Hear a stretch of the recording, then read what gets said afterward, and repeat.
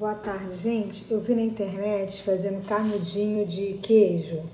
Você pega uma massa de pastel, tá vendo? Aí você corta ela aqui em dois tamanhos. Olha aqui, eu cortei aqui. Aí eu vou fazer canudinho. Você coloca um pouco de chimichurri. Aqui, ó. Você coloca aqui, aí você fecha ele aqui e vai ficar um canudinho.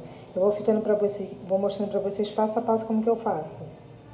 Então, gente, você tem que colocar bastante óleo na panela.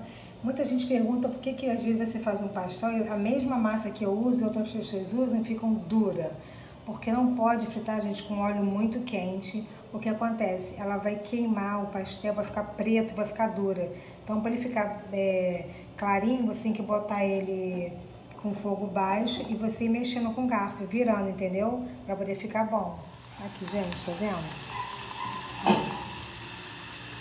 Aqui é os canudinhos de queijo, tá vendo? Ó. Ó, vai virando assim, para poder ele não queimar, não ficar escuro de um lado e branco do outro. Vou abaixar mais um pouquinho aqui o fogo.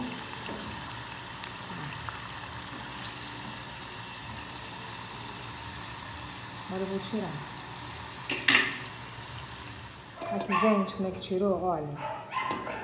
Não ficou queimadinho. Aqui, olha crocantezinho. Agora eu vou fazer mais aqui.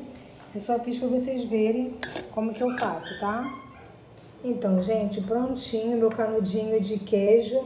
Gente, eu vou fazer também para vocês uma... Eu pego essa massa aqui, eu corto em tiras e frito, sem recheio, sem nada. Depois vocês podem comer com pastinha de camarão, de bacalhau, de frango. Gente, é uma delícia. Eu vou fazer o canal para vocês também. Essa aqui agora, como é que é fácil? Você fazer o, os canudinhos, tá vendo? Os canudinhos de queijo. Eu botei mussarela, gente. Pode botar queijo prato, mas eu acho que mussarela derrete mais. Eu até vi, eu vi isso na internet, mas eu vou fazer para ver se é gostoso. Gente, é muito bom. Muito bom, é muito fácil. Uma receitinha prática, tá bom, gente? É mais uma dica aqui pro canal para vocês. Se vocês gostaram, vão lá dar um like, tá bom? Beijinhos e até a próxima dica para vocês.